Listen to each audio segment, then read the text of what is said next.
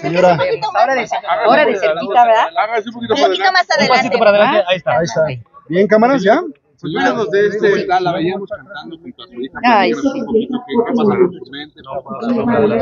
Ay, me siento feliz y realizada porque no pensé que Valeria quisiera cantar y mucho menos mi género. Entonces, el verla vestida de charra, el verla cantando en un escenario, haciendo unos falsetes increíbles, no, pues, ¿qué más le puedo pedir a Dios? Agradecer nada más. Señora, Señora, ¿qué piensa en este sentido de la nueva generación de cantantes del ranchero? Por ejemplo, Valeria, está Mafa Aguilar, está Ángel Aguilar. Sí. Usted como una figura representativa de esto, ¿qué puede decir de estas nuevas generaciones? ¿Cómo las ve? Las veo muy bien, las veo con muchas ganas de triunfar, de seguir llevando nuestra música y como le digo a Vale, esto es cuestión de resistir, mija. Es muy bonita la carrera, pero pues hay que echarle muchas ganas porque son obstáculos y obstáculos, sobre todo en nuestro género, yo no sé por qué. Señora Ida, me gustaría saber su opinión en relación a todas estas nuevas corrientes de artistas como Danny Flow, que tienen sus letras muy explícitas, eh, que hablan a lo mejor No un poquito. Sí, La verdad que no, no sé quién es, ¿eh? perdón La mi ignorancia. ¿no ha escuchado en algún tema de, de, de Bellacat, la gatita, nada? Le prometo por Dios que no, porque no es la música que escucho, pero sí creo que, que debe haber, porque lo he oído con, en otro tipo de género, que hay que tener más eh, cuidado con lo que se dice y sobre todo el agredir a la mujer. Eso se me hace lo más bajo que señora, hay, ¿no? cuéntanos- No estoy hablando de esta música, ¿eh? Señora, platíquenos cómo va, cómo quedó ese proceso legal que usted tenía, bueno, pues con todo respeto contra su hermano. De eso no voy a hablar. se acabó, No sigue. voy a hablar de eso. va- ustedes van a tener este, alguna noticia Dará más noticias, adelante. entonces hacia adelante. Más adelante. Señora, Señora, ¿qué sobre este disco que comentó de Juan mandar? Gabriel y todo el tema que se ha dado, perdón, ¿De qué, de es que qué? te interrumpo.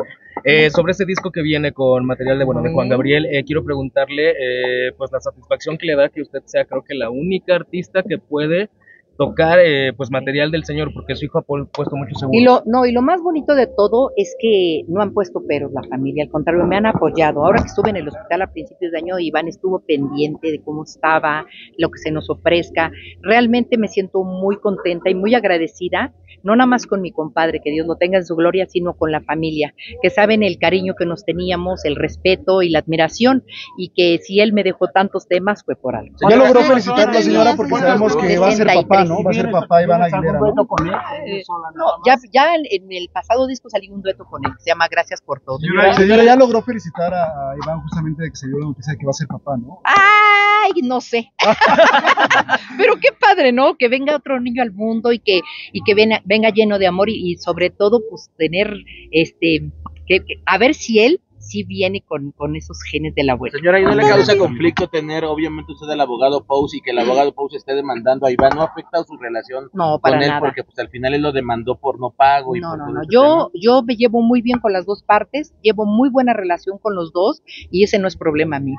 Pero ahora, usted que, usted que ha visto de frente y que ha estado así, piel a piel, con todos los involucrados, justamente, ¿tiene algún punto de vista, señora? Porque las, las versiones entre ambos son completamente diferentes. Sí, yo, yo la verdad no, mire, si no me gusta hablar de mi caso, menos de los de otro.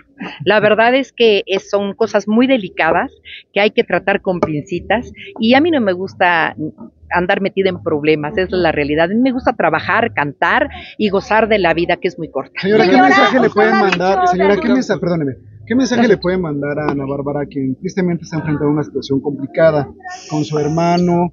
Pues también ha tenido algunas diferencias Híjole, con pues, Carlos. ¿Cómo, cómo, pues cómo que- enfrentar esta situación ante la prensa? Es algo, todo? es algo muy, muy difícil, muy doloroso, pero yo creo que es una mujer inteligente que va a poder sacar a flote el problema que trae.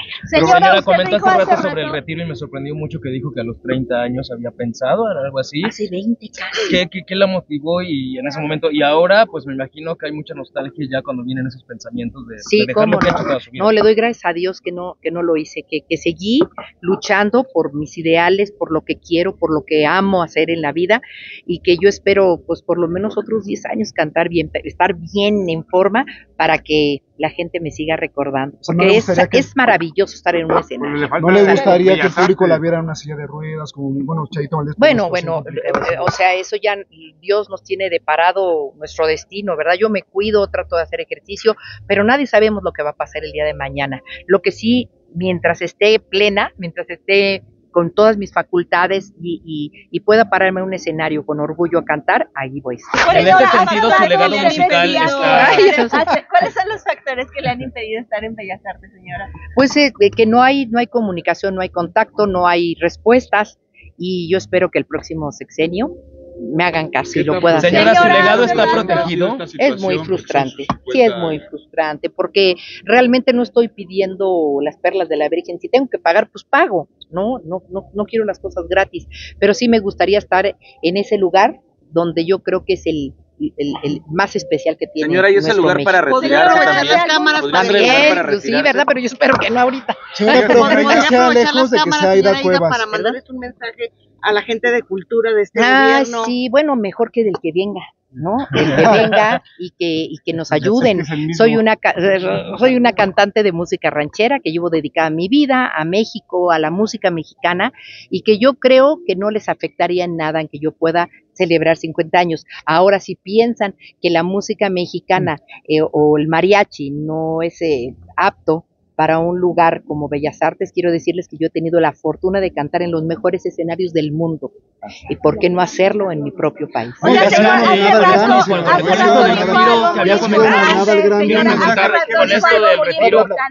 de que sufrió en su carrera, ¿no? Sí, de alguna manera, pero ahorita ya el- los tiempos han cambiado, ya hay derechos para las mujeres, esta violencia de género.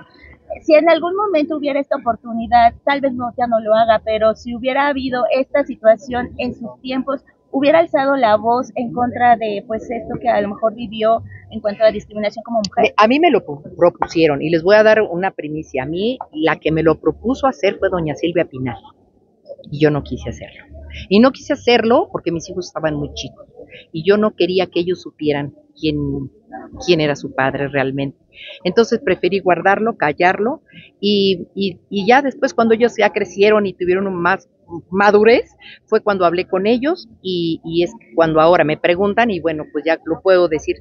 El señor ya murió, la verdad es que ya ni me gustaría hablar del tema porque ya no puede defenderse, si no se defendió cuando le, le echaba yo, ¿verdad? Entonces, este ya, ya murió por la Pero sí paz. lo lograste perdonar, Aida. Sí, claro, no, claro, hay que, hay que hacer, bueno, yo, yo me hago meditaciones y trato de hacerlo, trato de, de, de traer a mi enemigo o a la persona que no me quiere y, y, y platicar con él de alma a por alma, Carlos Cuevas, hacerlo. señora, medita también Así por él. Y Siempre digo que Dios lo bendiga. Señora, y nada más una pregunta. ¿Qué mensaje le manda a los que insisten que Juan Gabriel sigue vivo como Joaquín y ahora Lucía Méndez? Lucía Bueno, yo no, yo no, yo no me voy a meter con ninguno de los dos, pero sí quiero decirles que desafortunadamente para los que lo quisimos, lo convivimos y, y lo seguimos queriendo, Juan Gabriel está muerto. Juan Gabriel está muerto, sus cenizas están en su casa de, de- de Juárez y la verdad es que es una tristeza que, que se haga todo este tipo de cosas porque no dejan ni descansar a la familia, a los hijos, a él mismo, ¿no? Y que estén lucrando, porque muchos están lucrando con eso. Muchas gracias. Gracias. Gracias.